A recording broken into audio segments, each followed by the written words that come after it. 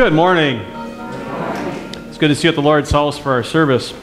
Please take a moment at some point, if you haven't done so already, find this little black, black booklet. Please open it up, take the pen out, write down on those pieces of paper what it asks for in there, and then pass it along to those who are sitting with you in the pew. The order of service is before you in the service folder you received when you came in. Couple things to note when we go through the service and we come to the celebration of our Lord's Supper. Um, the preface, the, the words and the sentences, the preface, you see the graphic files got shifted a little bit and we caught it too late. And so it's kind of off kilter. So we're still going to do the Lord be with you and you're going to sing and also with you. But if you look, it's kind of, you know, just so it doesn't catch you off guard when we get there. We are celebrating our Lord's Supper today, so communicants, please do take the opportunity to register using the cards in the back of the pew in front of you. And finally, in the prayer of the church, we'll include a special prayer for Jacob Fratellone, who is the grandson of Kathy and Ron Selkirk. He was involved in an industrial accident uh, this past week. Uh, his life was spared, uh, but yet has a lot to go through with surgeries and recovery coming up. So we'll offer up uh, a prayer for the Lord's help and then also for his family who supports and loves him. Let's begin with our opening hymn, number 376 in the hymnal Jesus, your blood and righteousness.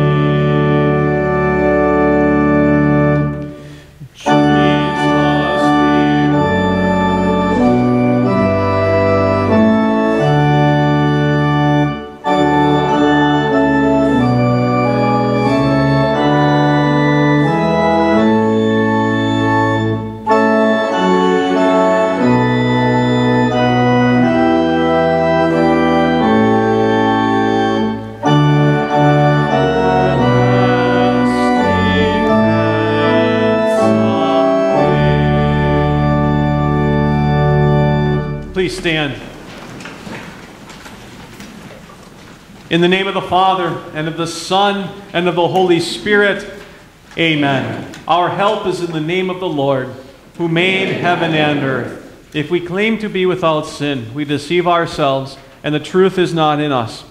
If we confess our sins, he is faithful and just, and will forgive us our sins, and purify us from all unrighteousness. Holy and merciful Father, I confess that I am by nature sinful, and that I have disobeyed you in my thoughts, words, and actions. I have done what is evil, and failed to do what is good. For this I deserve your punishment, both now and in eternity. But I am truly sorry for my sins, and trusting in my Savior Jesus Christ, I pray, Lord, have mercy on me, a sinner. God, our Heavenly Father, has been merciful to us and has given His only Son to be the atoning sacrifice for our sins. Therefore, as a called servant of Christ and by His authority, I forgive you all your sins. In the name of the Father, and of the Son, and of the Holy Spirit, amen. Oh, come, let us fix our eyes on Jesus, the author and perfecter of our faith, who for the joy set before him endured the cross, scorning its shame, and is seated at the right hand of the throne of God.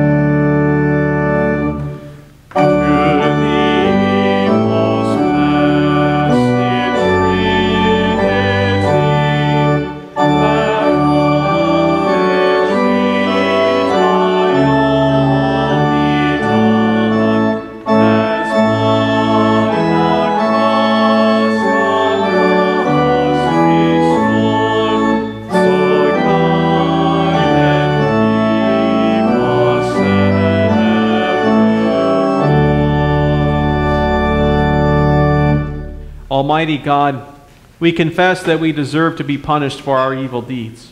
But we ask you graciously to cleanse us from all sin and to comfort us with your salvation. Through your Son, Jesus Christ our Lord, who lives and reigns with you and the Holy Spirit, one God, now and forever. Amen. Please be seated.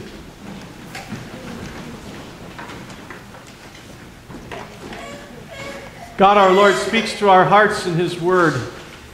Our first reading is from the Old Testament prophet Hosea in chapters 5 and 6. First, we hear the Lord speak, and then we hear God's people respond. God says, I will go.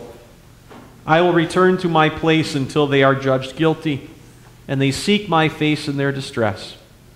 They will seek me eagerly. Come, let us return to the Lord. He himself has torn us, but he will heal us. He is wounding us, but he will bandage us. He will restore us to life after two days. On the third day, he will raise us so that we may live before him. We will know. We will pursue knowledge of the Lord. His coming forth is as sure as the coming of dawn. He comes to us like the rain, like the spring rain that waters the earth. This is the word of the Lord.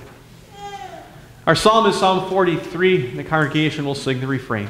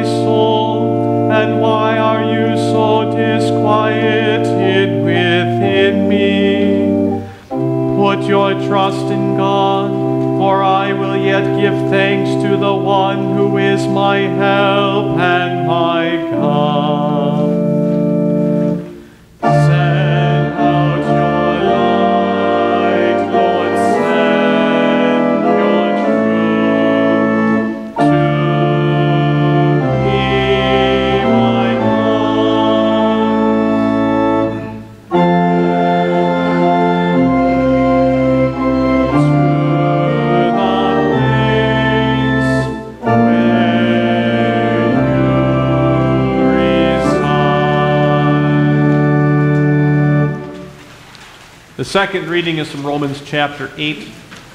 This is the lesson we'll focus on for the sermon.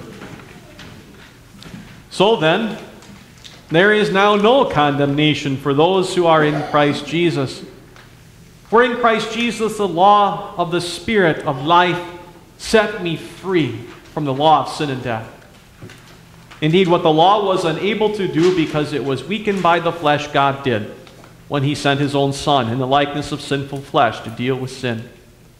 God condemned sin in his flesh, so that the righteous decree of the law would be fully satisfied in us who are not walking according to the flesh, but according to the Spirit. To be sure, Those who are in harmony with the sinful flesh think about things the way the sinful flesh does. And those in harmony with the Spirit think about things the way the Spirit does. Now, the way the sinful flesh thinks results in death, but the way the Spirit thinks results in life and peace. For the mindset of the sinful flesh is hostile to God, since it does not submit to God's law. In fact, it cannot. Those who are in the sinful flesh cannot please God. But you are not in the sinful flesh, but in the Spirit, if indeed God's Spirit lives in you. And if someone does not have the Spirit of Christ, that person does not belong to Christ. But if Christ is in you, your body is dead because of sin, but your spirit is alive because of righteousness. This is the word of the Lord. For God so loved the world that he gave his one and only Son, that whoever believes in him shall not perish, but have eternal life. Please stand.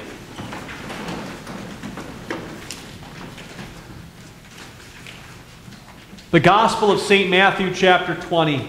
Glory be to you, O Lord. As Jesus was going up to Jerusalem, he took the twelve disciples aside. And on the way he said to them, Look, we are going up to Jerusalem. The Son of Man will be handed over to the chief priests and experts in the law, and they will condemn him to death. They will hand him over to the Gentiles to mock, flog, and crucify him. On the third day he will be raised. And the mother of Zebedee's sons came to him with her sons, kneeling and asking something of him. He said to her, What do you want? She said to him, Promise that in your kingdom these two sons of mine may sit, one on your right hand and one on your left hand. But Jesus answered, you do not know what you are asking. Are you able to drink the cup that I am about to drink? They said to him, We are. He said to them, You will indeed drink my cup, but to sit on my right hand and on my left hand is not for me to give. Rather, these places belong to those for whom they have been prepared by my Father. When the ten heard this, they were angry with the two brothers. But Jesus summoned them and said, you know that the rulers of the nations lord it over them, and their great ones exercise authority over them. It will not be that way among you. Instead, whoever wants to become great among you will be your servant, and whoever wants to be first among you will be your slave, just as the Son of Man did not come to be served, but to serve, to give his life as a ransom for many. The Gospel of the Lord. Praise be to you, O Christ. Please be seated. Let us sing the hymn of the day, number 486 in the hymn, The Lord of Glory, You Have Bought Us. Thank you.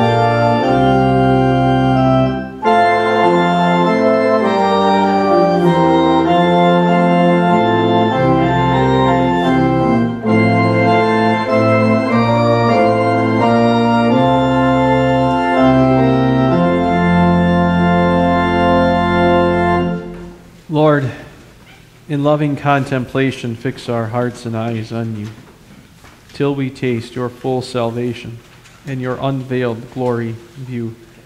Amen. We can be thankful that our Lord gave us the opportunity in the gospel to know what is about to happen. You heard him, right? Tell his disciples, We're going to Jerusalem, and I'm going to be tortured and mocked and flogged, and crucified, and I will rise again. That's what we're about to celebrate in a couple of weeks, aren't we? We're going there too. We're going up to Jerusalem, about to celebrate our Lord's Passion. We may think to ourselves, well, Jesus already told me what's going to happen. I don't need to show up. No, no, no, no. He tells us this to make us ready. And the timing of it couldn't be any better than today. Today, the fourth Sunday in our Lent. This is the time where we may begin to have some fatigue as we walk up to Jerusalem. Just because of what's going on around us in our lives, things are getting pretty hectic right now. We had midterms and spring breaks, and the weather is really cruddy and crappy out there, and that gets us down too. We're tired, we're cranky, and every Wednesday we keep descending more into our Lord's suffering and death.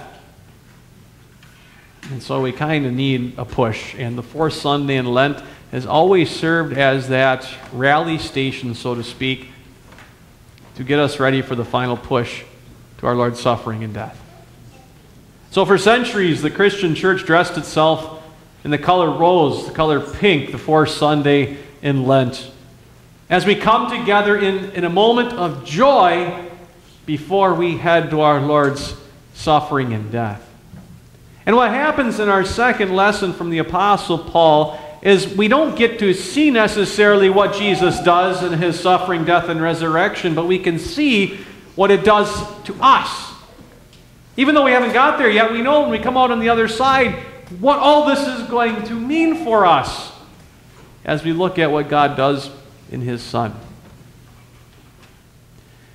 In this section of Romans, in chapter 6, 7, and 8, Paul is speaking in a way that may seem somewhat confusing to us. Maybe your eyes, maybe your eyes kind of glazed over as you went through what, flesh, spirit. What, what, what are we talking about here?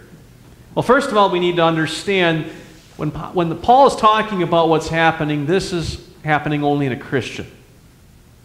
Only we know this. Only we experience what he's talking about here. And what is he, what is he talking about? Chapter 7 is where the Apostle Paul talks about as a Christian, I want to do the things that God wants me to do, and yet I don't do them.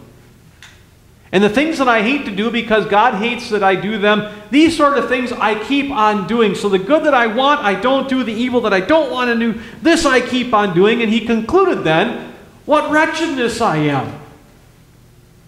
How can I be saved?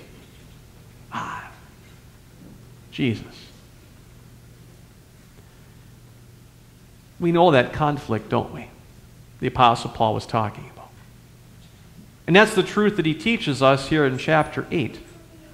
A reality for each and every one of us, each and every day of our life. That there is this conflict in us. There is the sinful nature, the flesh, as he calls it here. And then there is the new creation, the Christ himself that is living in us. We have two things that are completely different from each other.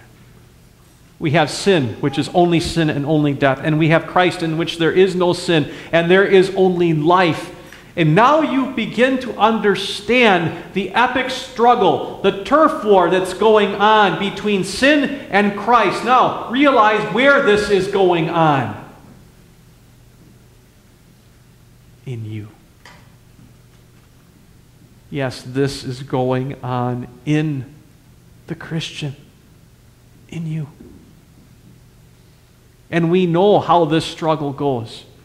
Because the sinful nature wants nothing to do with the Christ in me. And so the struggle goes my entire life.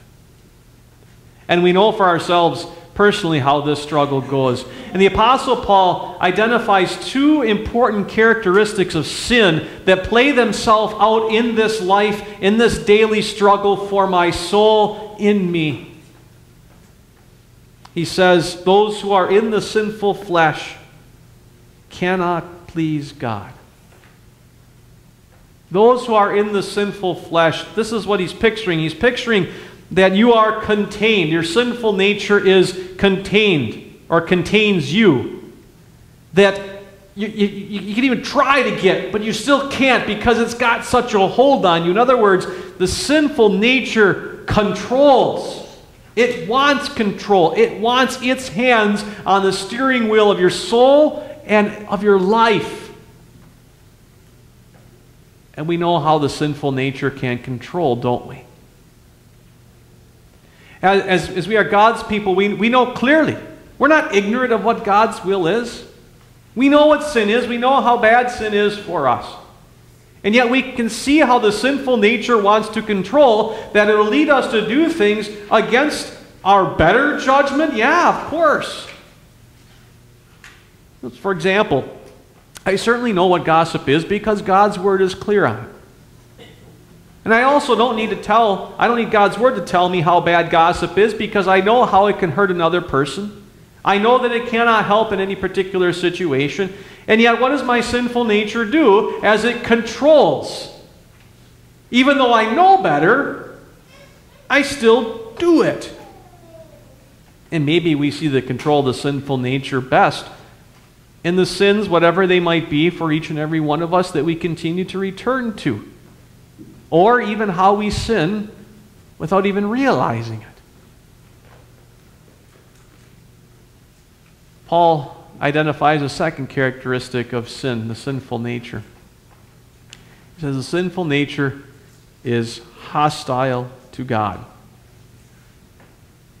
It's an enemy. It hates God. It wants nothing to do with God. And it's even more than that.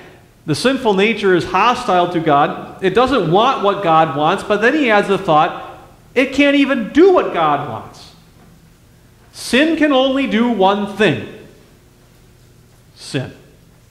Not only does it control, but it hates God. It doesn't want anything to do with God. It wants to stay as far, as far away from God as possible and then makes God the bad guy, makes God the enemy. And of course, we see this in the Garden of Eden. When Adam and Eve first sinned, they ran away from God because God was the bad guy. And then when God came and said, Adam, Eve, what is this you have done? God is still the bad guy. And now, although they're the ones that sin, God calls out these consequences that are going to be a part of our lives from now on. Well, then God's still the bad guy. And we even know this part of the sinful nature as we struggle with our own sin. When does God become the bad guy for us? Now, God becomes the bad guy when in His will He asks us to make sacrifices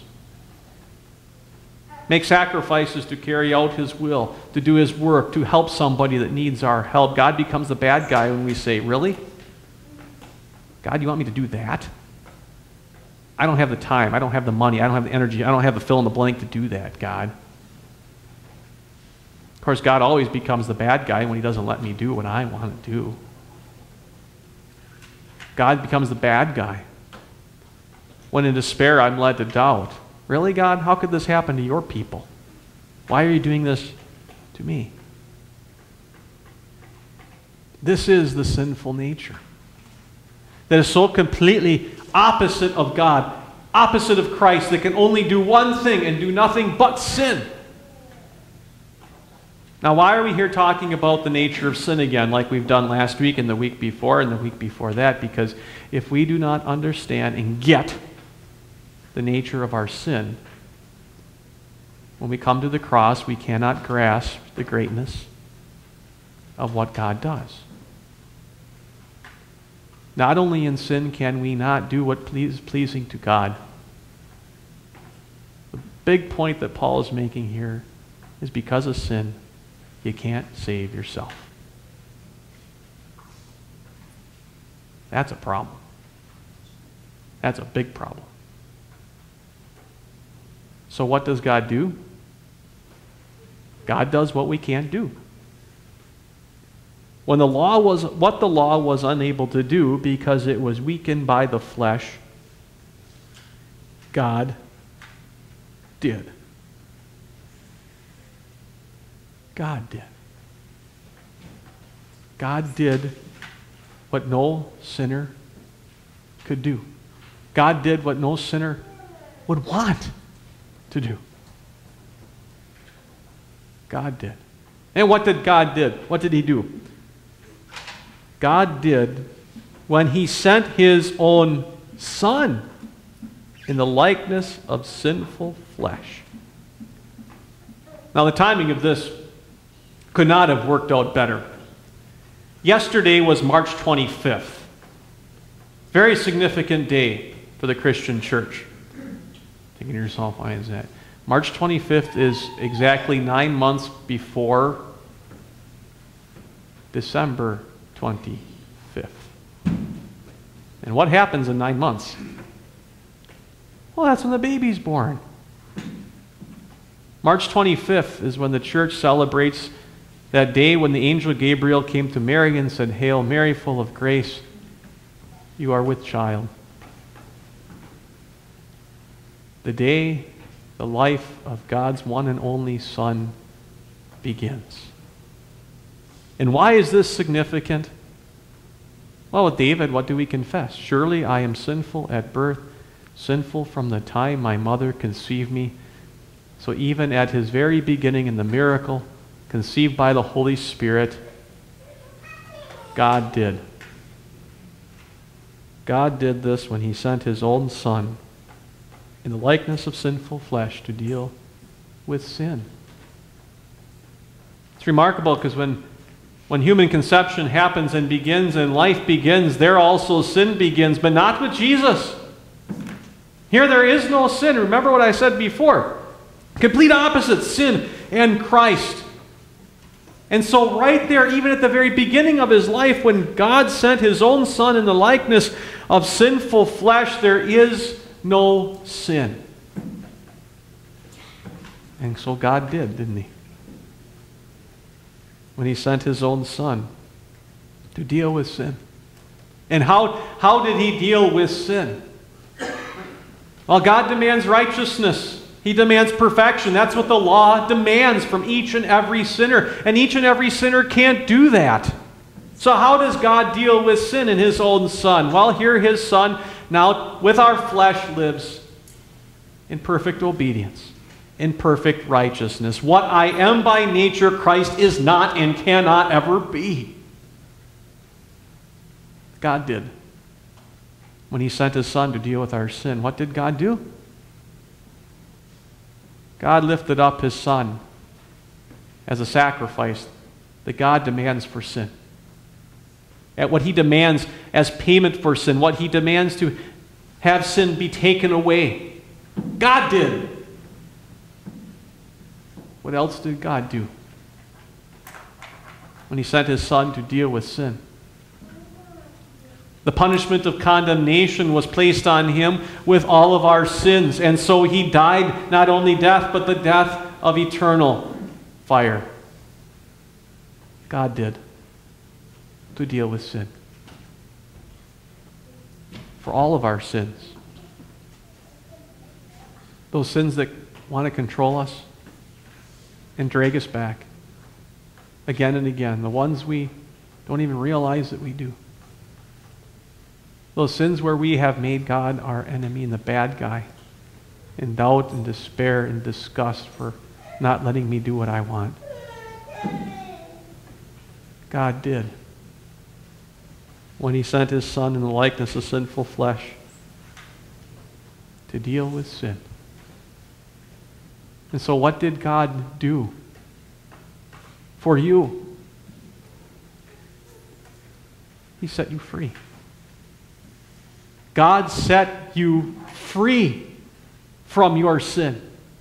God set you free from the power of sin. God set you free from the curse of sin. God set you free from the guilt of sin. So now there is no condemnation, none whatsoever, for those who are in Christ Jesus. God did set you free. And the conflict then continues in our life, the struggle, doesn't it? Yes, the sinful nature will remain with us until it finally dies in our death. But then the Christ is also in us. And how did the Christ get there? But by the Spirit who put the Christ there by faith. And in our life, we have this constant turf battle going on inside of us. And what is this but then our Christian life? And look at what God has done. God did again. He set you free to live. And notice how you live. Remember what sin can only do? Sin can only sin. But now that God has set you free from sin, you are free to do what you could never, ever do. Think about that.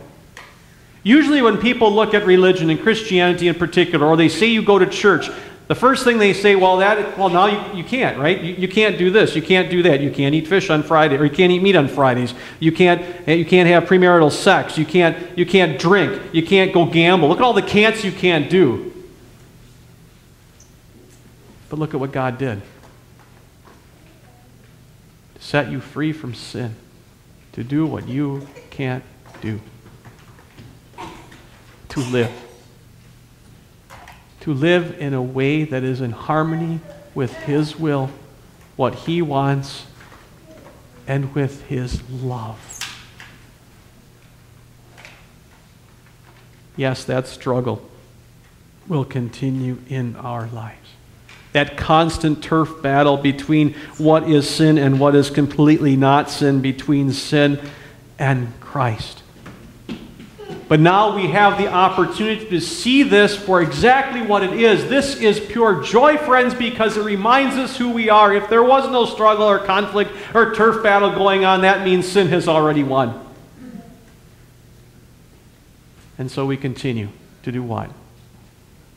Live because God did set us free to live. So there we went and spoiled it, haven't we? Christ himself has taken us through his suffering and death, his cross, and his resurrection. But now, as we come to those days in a couple weeks, I beg you, friends, don't celebrate Jesus' suffering and death and resurrection as a spectator. Don't just sit there and watch it like some events on a screen, like watching the Bucks game.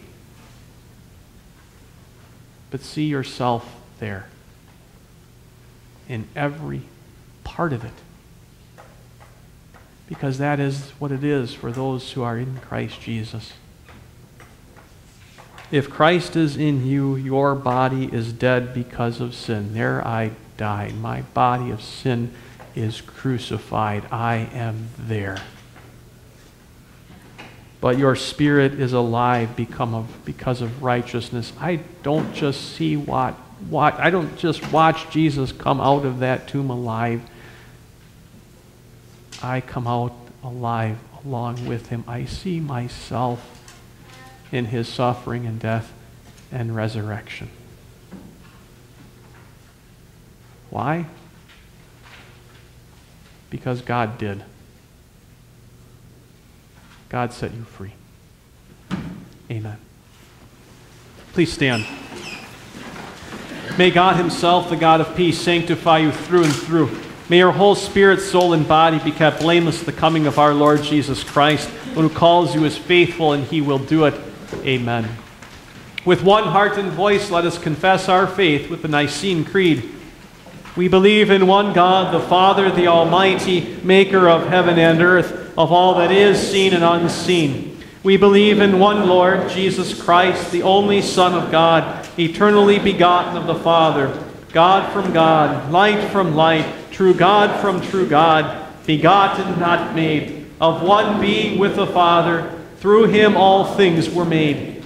For us and for our salvation, he came down from heaven, was incarnate of the Holy Spirit and the Virgin Mary, and became fully human.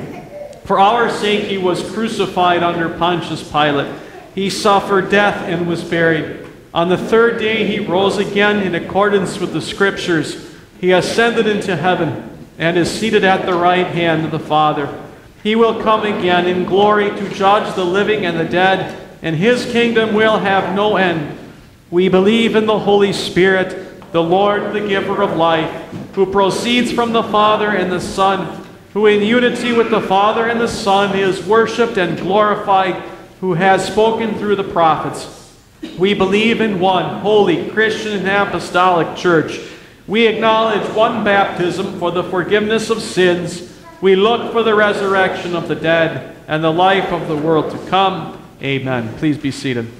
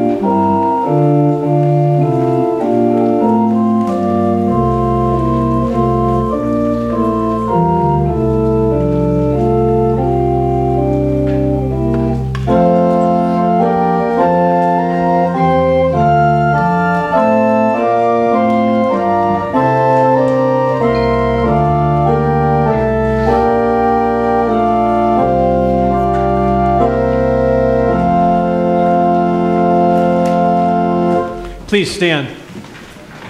Let us pray for the whole church of God in Christ and for all according to their needs. Heavenly Father, you loved the world and gave your Son to liberate us from sin and death by his obedient death on the cross. We confess that without your love, we are lost. Lord of the church, we thank you for the treasure of the gospel. By your Spirit, keep our eyes fixed on Jesus, the author and perfecter of our faith. Strengthen our determination to do what pleases you, no matter what the danger or the cost. Let us pray for those who carry a cross in the name of Christ and face ridicule and persecution for the sake of the kingdom. Missionaries and chaplains, young people who stand up for what is right in the face of pressure to do what is wrong, and all who pay a high price for their faith and their values as Christians. By your Spirit, O Lord, grant them patience and endurance. Let us pray for those who carry heavy burdens in life the sick and the chronically ill, the depressed and the lonely, those torn by conflict and personal relationships, those victimized by war and injustice, and all who face the terrors of life with a heavy heart.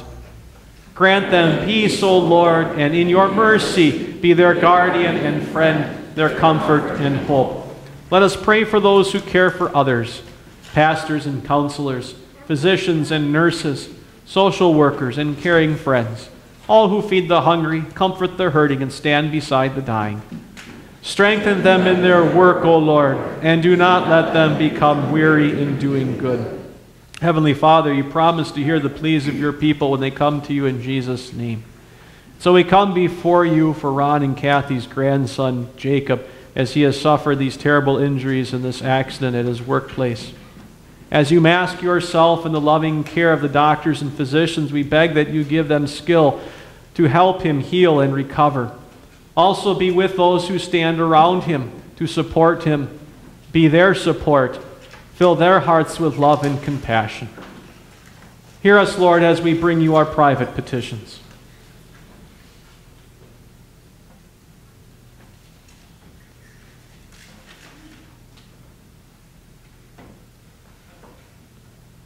Help us run with perseverance the race marked out for us. Keep us faithful even to the point of death, that we may receive the crown of life through Jesus Christ our Lord.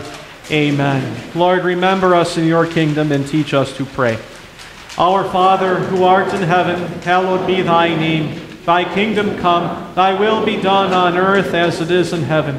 Give us this day our daily bread, and forgive us our trespasses, as we forgive those who trespass against us. And lead us not into temptation, but deliver us from evil.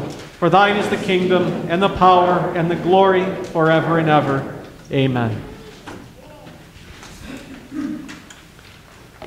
The Lord be with you.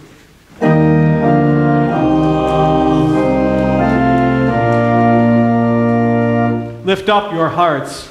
We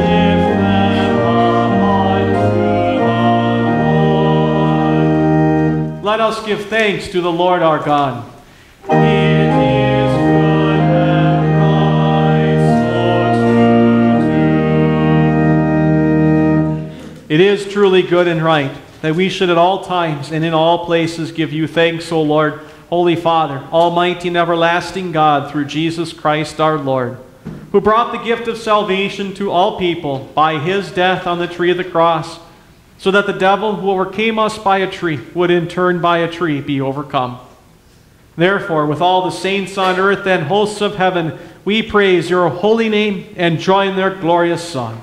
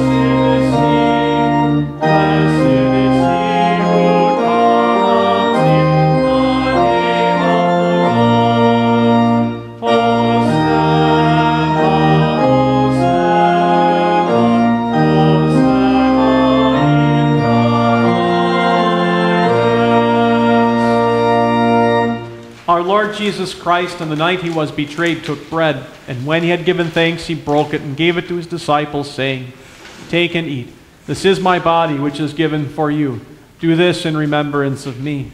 Then he took the cup, gave thanks, and gave it to them, saying, Drink from it, all of you. This is my blood of the new covenant, which is poured out for you for the forgiveness of sins.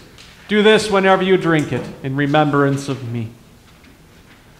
The peace of the Lord be with you always.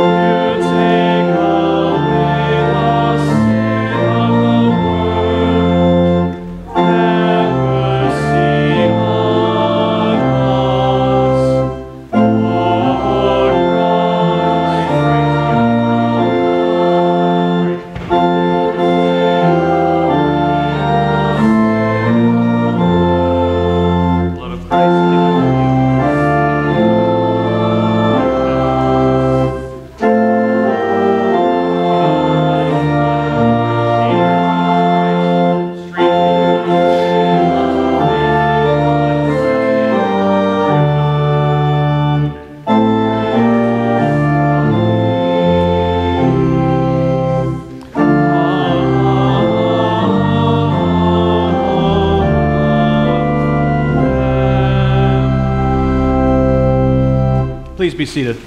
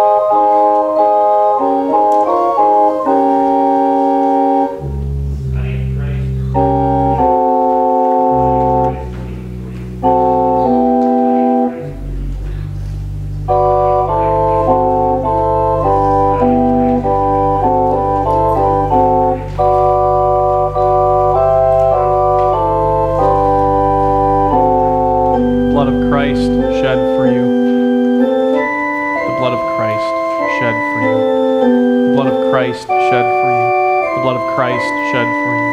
The blood of Christ shed for you. The blood of Christ shed for you. The blood of Christ shed for you. The blood of Christ shed for you. You have received the true body and the true blood of our Lord Jesus Christ. May it strengthen you. May it keep you in Christian faith until life everlasting. Go in peace with joy in your hearts. Your sins are forgiven in Jesus.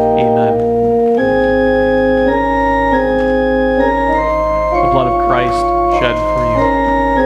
The blood of Christ shed for you. The blood of Christ shed for you. The blood of Christ shed for you. The blood of Christ shed for you. The blood of Christ shed for you. The blood of Christ shed for you. The blood of Christ shed for you. You have received the true body and blood of our Lord. Strengthen you. May it keep you in Christian faith until life everlasting.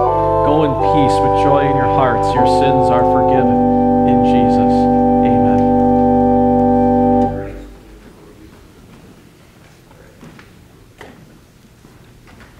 The blood of Christ shed for you. The blood of Christ shed for you. The blood of Christ shed for you. The blood of Christ shed for you. The blood of Christ shed for you. The blood of Christ shed for you. The blood of Christ shed for you. The blood of Christ shed for you. You have received the true body and blood of our Lord Jesus Christ. May it strengthen you. May it keep you in Christian faith until life everlasting. Go in peace with joy in your hearts. Your sins are forgiven. In Jesus. Amen.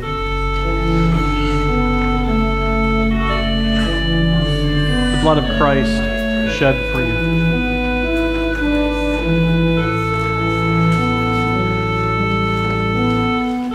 Blood of Christ shed for you. The blood of Christ shed for you. The blood of Christ shed for you. The blood of Christ shed for you. The blood of Christ shed for you.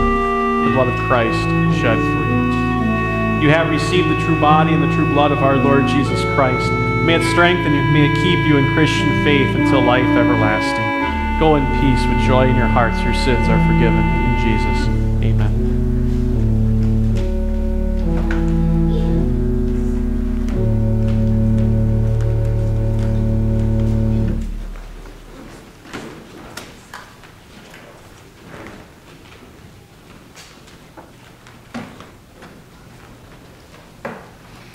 Body of Christ, or the blood of Christ shed for you. The blood of Christ shed for you. The blood of Christ shed for you. The blood of Christ shed for you. The blood of Christ shed for you. The blood of Christ shed for you. The blood of Christ shed for you.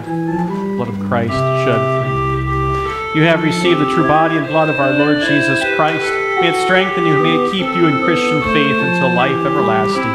Go in peace with joy in your hearts. Your sins are forgiven in Jesus. Amen.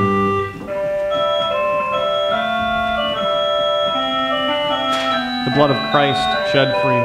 The blood of Christ shed for you. The blood of Christ shed for you. The blood of Christ shed for you. You have received the true body and blood of our Lord Jesus Christ. May it strengthen you. May it keep you in Christian faith until life everlasting. Go in peace with joy in your hearts. Your sins are forgiven in Jesus. Amen.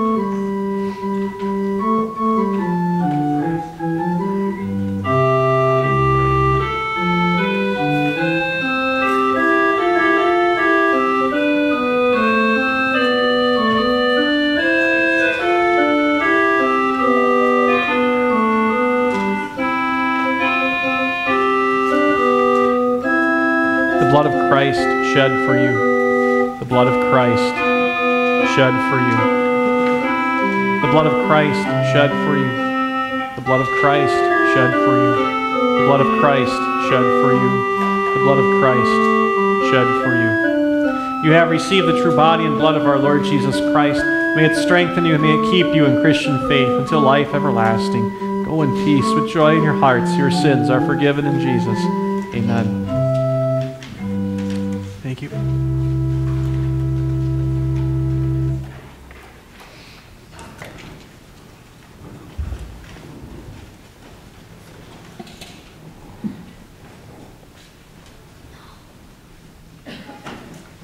Please stand. Let us join to sing the Song of Simeon.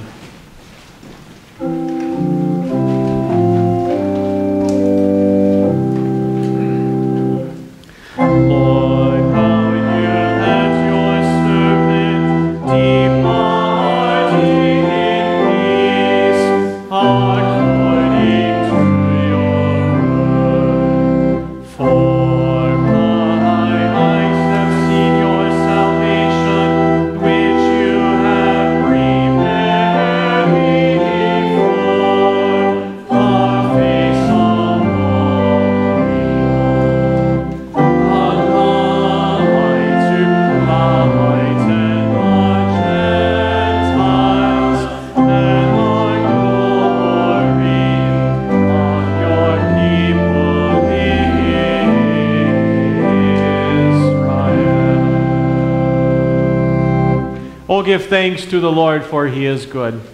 And his mercy endures.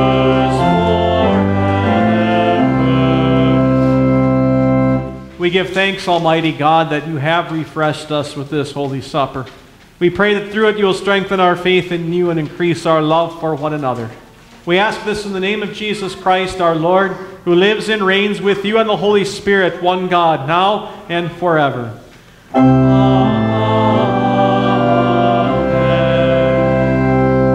The Lord bless you and keep you. The Lord make his face shine on you and be gracious to you. The Lord look on you with favor and give you peace.